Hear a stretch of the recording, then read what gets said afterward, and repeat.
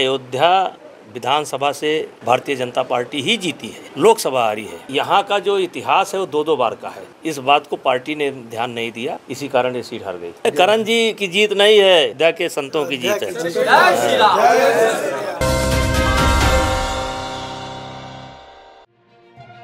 लोकसभा चुनाव में भाजपा के अयोध्या से चुनाव हारने पर देश ही नहीं बल्कि देश के बाहर भी चर्चा हो रही है।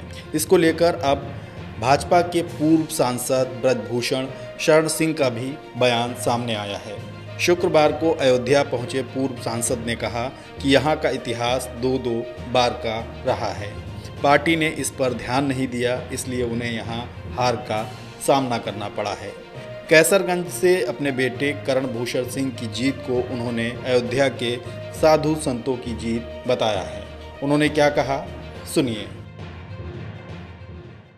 ये तो सर्वविदित था कि तीसरी बार मोदी जी प्रधानमंत्री बनेंगे। और ये उम्मीद विपक्ष के लोगों को भी पता था कि प्रधानमंत्री मोदी जी बनेंगे। तो देश इस, इसको लेकर के खुश है। देखिए, अयोध्या विधानसभा से भारतीय जनता पार्टी ही जीती है।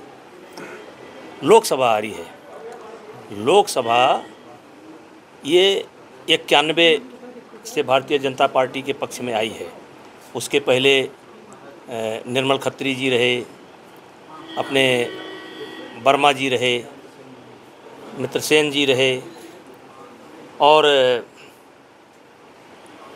ये दो बार लल्लू सिंह रहे। तो यहाँ का जो इतिहास है, वो दो दो बार का है। एक मिनट। यहाँ का इतिहास है वो दो दो बार का है।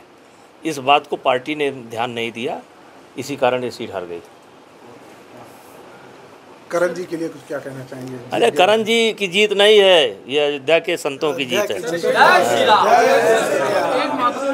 देखिए जिसमें सबसे ज़्यादा लोग प्रसन्न रहे सबको न्याय मिले सबको भोजन मिले सबको वस्त्र मिले सबके पास आवास हो तो इसी को राम राज्य कहते हैं जिसमें लोग दुखी ना हो।